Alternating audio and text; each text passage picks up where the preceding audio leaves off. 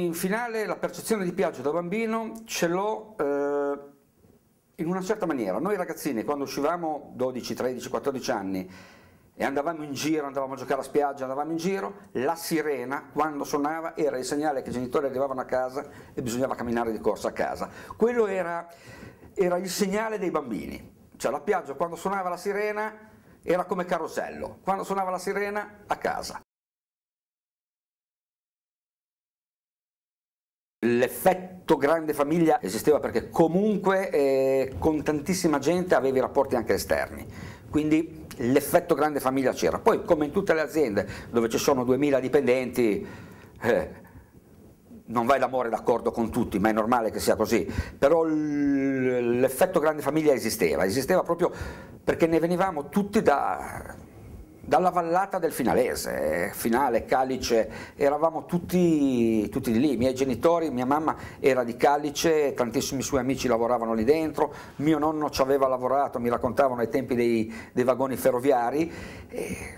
eravamo tutti, c'era una storia via dietro, sì sì. Eh.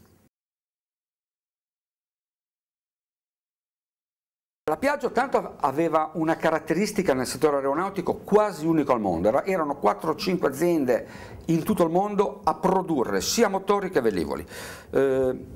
questa è una cosa che va detta perché quasi tutte le aziende a livello mondiale o fanno motori o fanno velivoli. Lì esistevano due settori molto diversi uno dall'altro, proprio come tipo di lavorazione, come materiali, eh, proprio assolutamente diverso.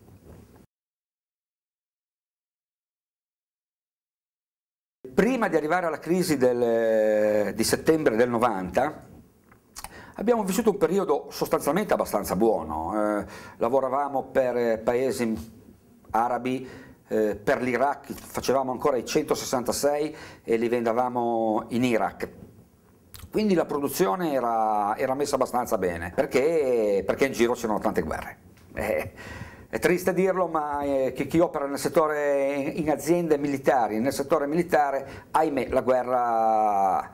la guerra fa bene a quel tipo di industrie. Eh, non è bello, ma è così. Eh, poi la crisi degli anni 90 è l'esatto contrario, eh, il disarmo. Il disarmo entra in crisi il settore militare, quello che, che alla fine porta parecchio, parecchio denaro, e quando nel settore militare si riducono quei soldi, riducendo le entrate, solo col civile non vivi e, e quindi ebbe quel, quel, tracollo. Fu un decennio drammatico, drammatico perché eh, quando, io ricordo perfettamente quando ci annunciarono a settembre del, del 90, ci, ci annunciarono lo stato di crisi, inizialmente forse non l'abbiamo presa, l'abbiamo presa un po' sotto gamba, nel senso che abbiamo subito pensato che fosse qualche trucco per recuperare fondi da qualche parte, subito no, non ci siamo subito preoccupati così tanto, abbiamo iniziato a preoccuparci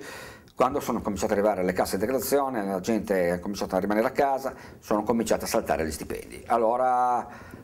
allora lì è stato panico. Quando entrammo in legge Prodi capimmo che la situazione era veramente drammatica. Per fortuna, cosa che ci salvò, che un po' di lavoro ce l'avevamo, continuavamo a, lavorare nonostante gli scioperi, nonostante le lotte, alcuni erano fuori a bloccare la strada e, gli altri, e altri erano dentro a produrre anche senza stipendi per, eh, per, cercare di fatturare, perché poi alla fine la cosa che dovevamo fare era fatturare. E il fatto che avessimo commesse con l'esercito eh, facevamo proprio la revisione delle, delle, frecce tricolori, degli addestratori, di quelle cose lì, ci ha permesso di andare avanti. E poi è entrata intorno al 2006-2007, sono entrati gli arabi praticamente,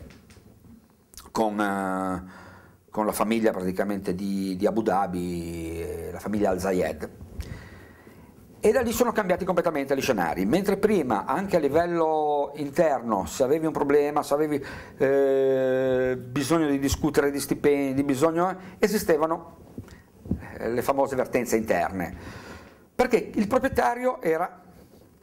la palazzina sopra dove, sopra dove, lavoravi, quindi comunque avevi un interlocutore. Oggi è molto molto più difficile perché gli interlocutori sono in Arabia e difficilmente vai a bussare alla loro porta, quindi loro fanno tutto quello che hanno interesse di fare e che anche probabilmente nel loro diritto fare, visto che sono i proprietari, però non, non hai più la possibilità di interfacciarti, ti interfacci con dipendenti. Lo spostamento è stato eh, lunghissimo il tempo di attesa, perché se ne è parlato per anni e anni e anni, io la prima volta che ho sentito parlare dello spostamento, di un possibile nuovo stabilimento a Villanova era intorno agli anni 99, 2000, che si prospettava di questa possibilità. Poi era partita una certa accelerazione e sembrava che di anno in anno sono passati ancora 14 anni prima che, che arrivasse lo, lo spostamento vero e proprio. L'ho vissuto in prima persona perché ho collaborato, come tutti gli altri, a smantellare finale e a costruire, costruire intendo a trasportare tutto quello che c'era a Villanova. Eh, come tutti gli stabilimenti nuovi, sotto profilo logistico è 100 volte meglio è una meraviglia. Molte cose non sono state fatte bene, sono state fatte molto molto male. Per quanto riguarda eh, finale, finale io quando passo di davanti eh, dico una frase in dialetto me vegno magù. Eh,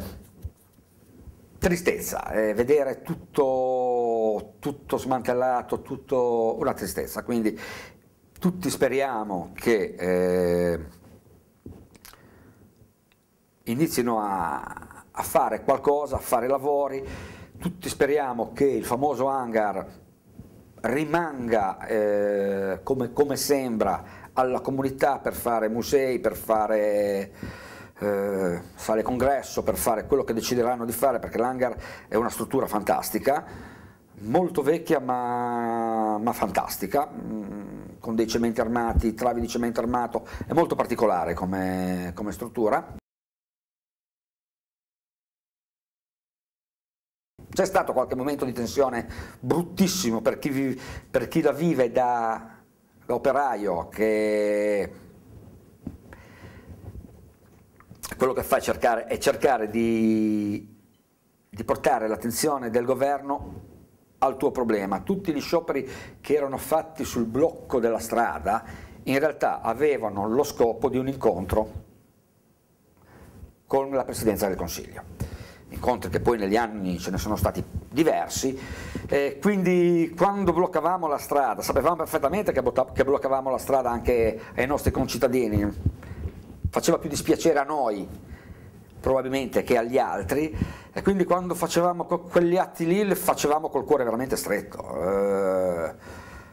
io ricordo veramente quei periodi con una tristezza incredibile. Eh, facevamo assemblee dove bisognava prendere decisioni, decisioni che a nessuno di noi piacevano. Ci fu una strategia di solidarietà che eh, aveva, noi avevamo una mutua interna dove tutti noi versavano una quota per poi prendere in caso di malattia, di medicinali, di visite specialistiche e eh, un po' la comunità, eh, se, non, se, non, ricordo male l'Avis, perché finale all'Avis, cioè la piaggia di finale all'Avis dava tantissimi, tantissimi donatori e eh, la mutua interna misero a disposizione, però ad oggi io non so chi ne ha usufruito, eh, misero un comunicato dove dire se qualcuno avesse avuto proprio quel bisogno impellente, tra virgolette, o dell'affitto o del mangiare, di presentarsi in maniera totalmente anonima e, e oggi, siccome era in maniera totalmente anonima, non so se qualcuno ha usufruito di questo servizio o se non l'ha usufruito. L'avevano fatto in maniera molto intelligente per evitare di mettere in imbarazzo qualcuno, quindi se fosse accaduto, eh, se qualcuno non avesse usufruito, non si è mai saputo. Sì, qualche, qualcosa ci fu.